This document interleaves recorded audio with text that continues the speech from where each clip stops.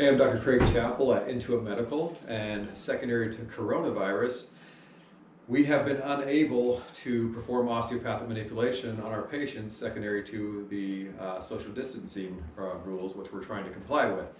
So, secondary to uh, a bunch of rather angry pregnant women, I have been asked, or I'm going to put forward a video of at-home possibilities that exist for pain during pregnancy associated with osteopathic manipulation.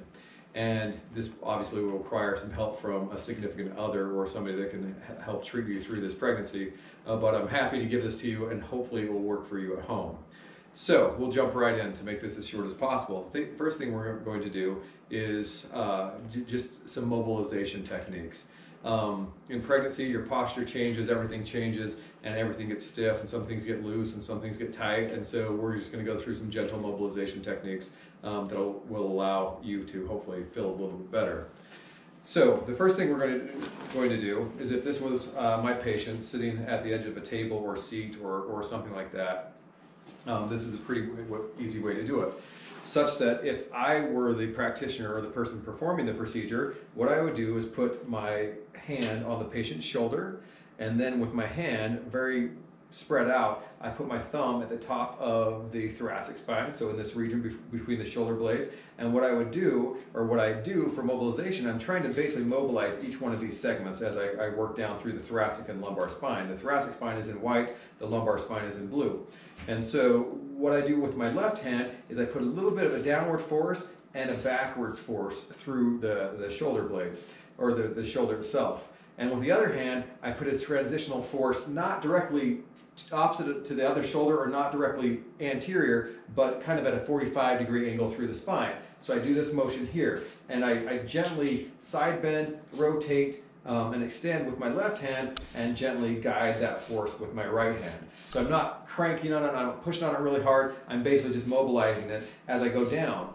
So what's this hand doing? So the force, the, the mobilization should take place under the, the, the, hand on the spine. So if I'm here, I want to mobilize in this, this region. So the, the force is through this direction, focused in this region, and I'm trying to focus the same thing here. And so as I go down deeper, I put a little bit more side bending, a little bit more rotation, and I uh, basically work it around my hand as I, as I go down. So we'll demonstrate that um, on a live patient and you'll be able to see what that looks like in, in real time. So we'll have the patient facing away from us, uh, like we did in the demo a minute ago. I'm to use my whole thumb and all the way to my thenar eminence. And there's a, there's a, on everybody, there's kind of a bone that sticks out right here. That would be the, the, the top of uh, T1 or the bottom of the cervical spine at C7. We're to kind of start there.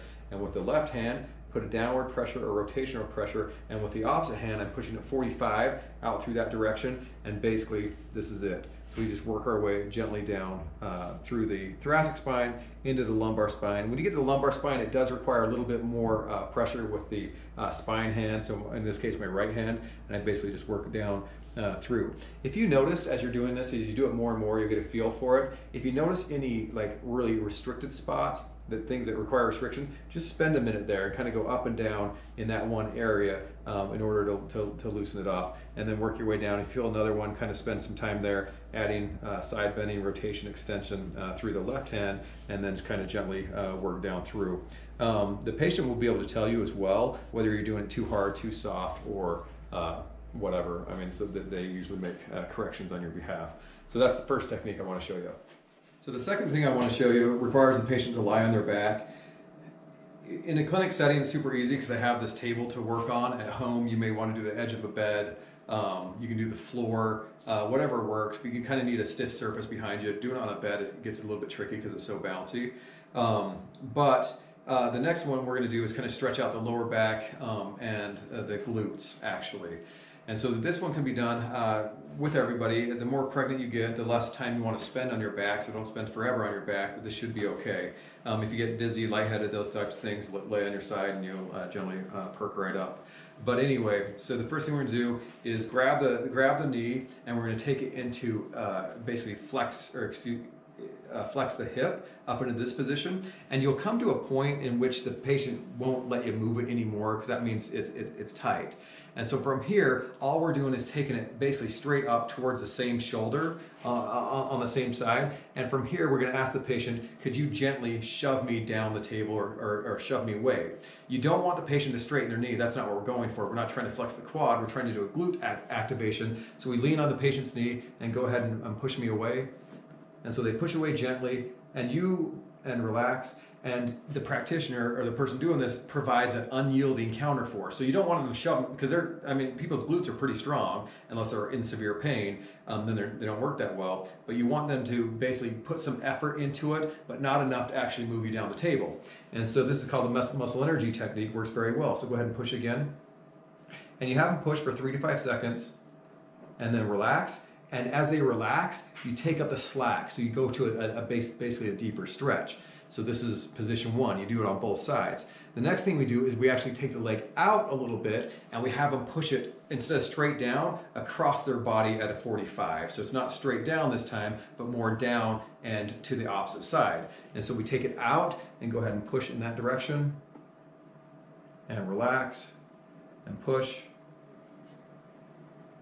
and relax. And they shouldn't be trying really hard. I have some, some patients come in and they obviously want to be stronger than me, which they are, and they shove me right down the table. So it, we're not looking for that. And then the next position, you're to go up, over, and kind of towards their belly. And in this case, it's just opposite. So they're to push right towards me. So go ahead and push towards me. And relax. And push towards me.